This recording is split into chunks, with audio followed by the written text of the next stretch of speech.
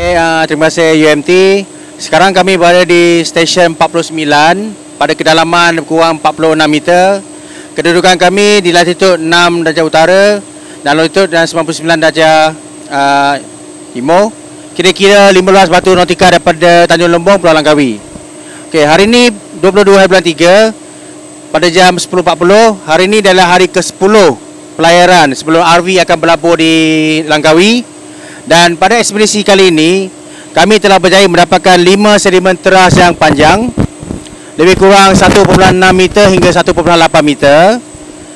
Uh, dan juga lebih kurang 46 sedimen teras yang panjangnya lebih kurang 15 cm yang diambil daripada Smith Main Grab.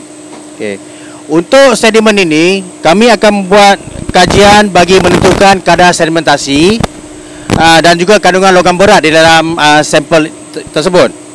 Okey, untuk kajian ini kami akan memotong setiap uh, subsampel 1 cm dan di sini kalau kita ada 160 cm, maknanya kita ada 160 sampel kat sini. Okey. Untuk maklumat semua, data sedimentasi ini adalah penting untuk mengetahui status pencemaran marin, uh, terutamanya logam berat di perairan Selat Melaka pada masa lampau. Okey, saya beri contoh. Sekiranya kadar sedimentasi adalah 0.1 cm 0.1 cm setahun, jika sedimen kita kita dapat 1.8 meter, Maya sedimen ni dia boleh mewakili 1800 tahun. Okey. Di bahagian bawah sedimen tersebut.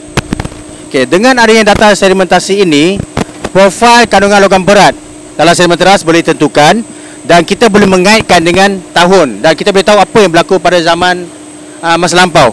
Okey. So, uh, kesemua data-data ini kita akan uh, menggunakan perisian ArcGIS untuk membuat pemetaan di mana kita akan menghasilkan peta kepekatan untuk memudahkan orang ramai melihat hasil kajian kami ini. So sekian saja laporan saya sebenarnya ekspedisi saintifik uh, penyelidikan ni dan kami akan melaporkan dari semasa dari semasa ke semasa aktiviti kami. Sekian, terima kasih UMT.